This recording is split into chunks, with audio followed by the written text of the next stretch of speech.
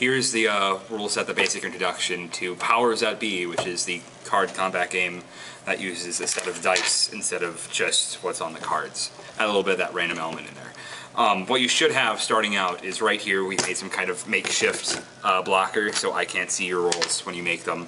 Uh, you should have five dice, uh, those are going to be included obviously. You should have eight of these little tiles uh, and each one of those represents your health. Uh, you should have a deck of somewhere in the neighborhood of 20 cards. Um, they should be the same number each. I think I have them at 23 right now. And then also you should have this giant Tupperware, the Shotley made separated Tupperware of uh, hit counters. One side should be 5, the other side, uh, other side should be 10. Now, at this point you should go ahead and shuffle your deck. We've done that already. Now, to open up for your first turn, what we're going to do is keep drawing cards until you get a playable character card. Now, that character card, it's going to have a cost of zero by that tiny little fireball. A willpower cost of zero, and it should have a giant one up the top left corner under the name. Keep drawing until you get one of those. This one good? Yep, that's fantastic. Go ahead and play him right here. He's going to be your active fighter for the first turn. Alright, and here's mine. Alright, and at this point you're going to go ahead and reshuffle your deck. So you can go ahead and cut if you want to, or just pretend, there we go, it's perfect. Pretend you're shuffling, just shove that in there somewhere. Alright, now, uh, Oh, is it supposed to not be? Oh, yeah, no, that's the other way around. Okay, now, what you're going to do to start off your first turn is just go ahead and roll your dice. Make sure that I can't see them.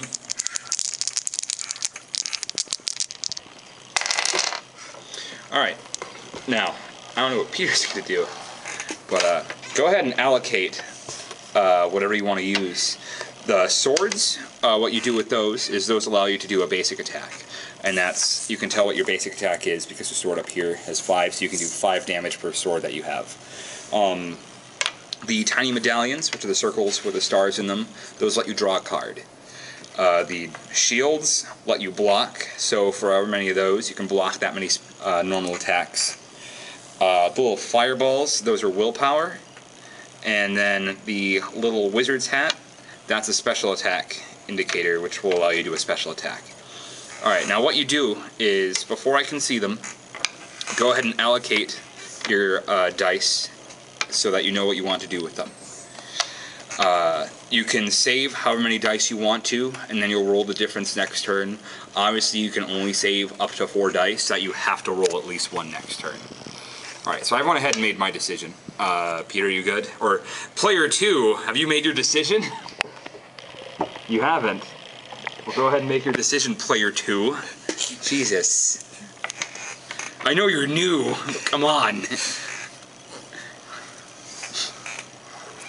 I play all of them? Huh? Can I play all of them? Yeah, yeah. You can. There's nothing stopping you from playing all of them. You can save however many you want to, um, or you can play all of them in one turn. All right. Okay, so you ready? All right, go ahead and show me what you have.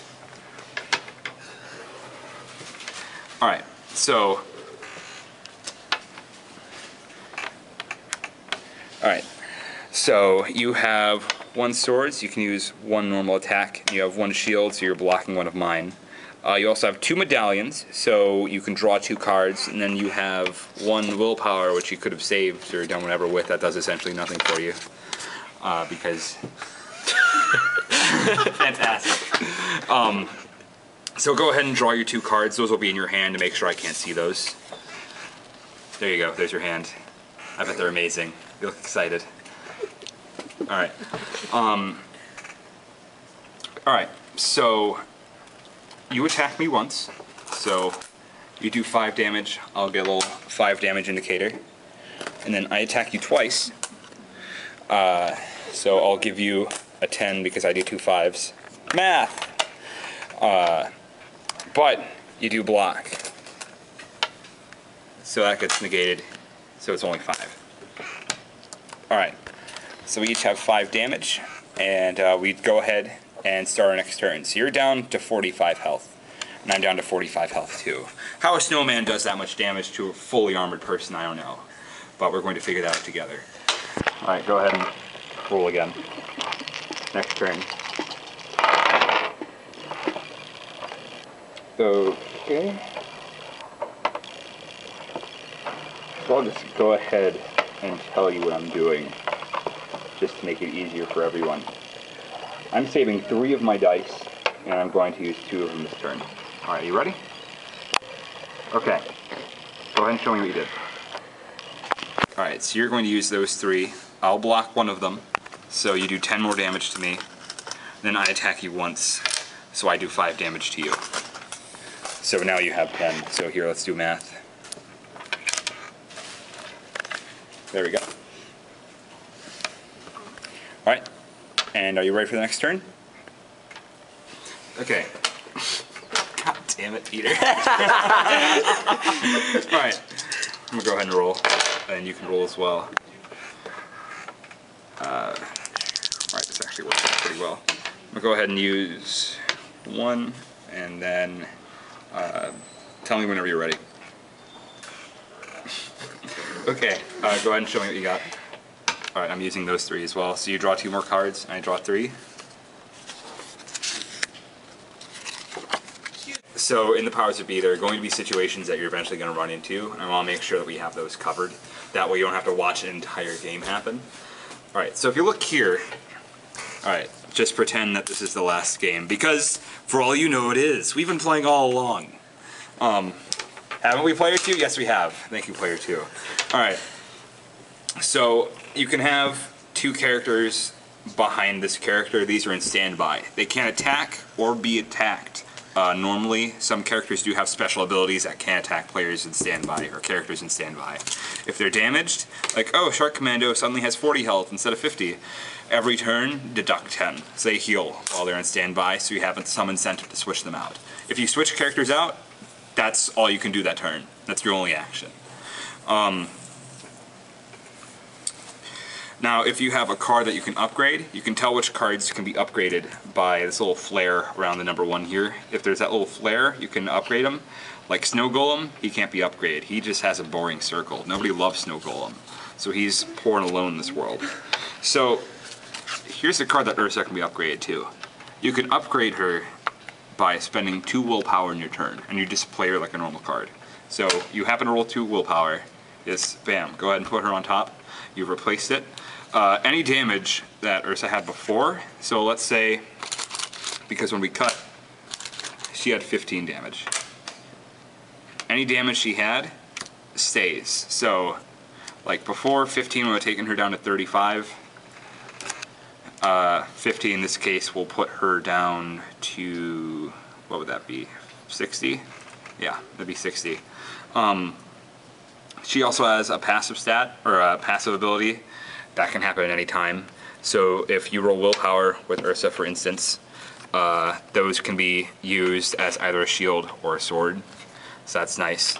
Um, to use a special attack, this has probably been explained. You've probably read the rules, I hope, by now. You're looking at this for clarification. But if you roll this token, that's a little sorcerer's hat. Uh, that's what allows you to use special abilities, and then you also have to be able to pay for it in willpower. So this one only requires one.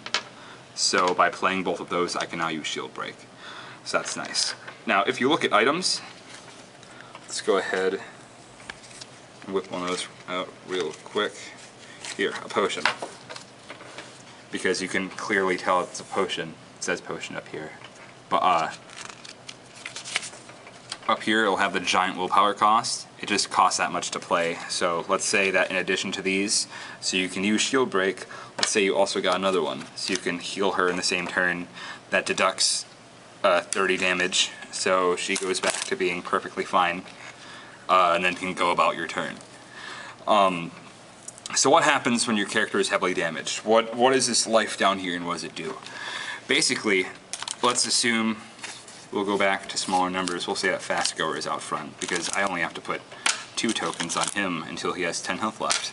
Alright, so whenever your character gets defeated at all, so Snow Golem magically attacks for 10 even though he can't. Um, so the Fast Goer is out. That's 30 health. He has to be discarded. Now, whatever you discard a character, flip one of your little tokens. Now your health bar is shrinking. Um, if you have any more attacks after that, if you can do any more damage, each extra token you have also inflicts one health bar worth of damage. So let's say that you had two extra tokens there after I was already defeated that you hadn't used yet. That would be three total for my turn.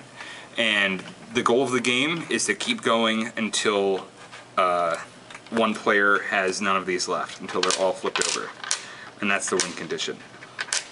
If you run of cards, just keep going because the game can still progress without cards, um, or without any cards left in your deck or your hand.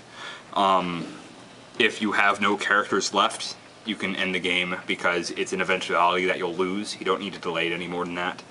Um, but yeah, that's it.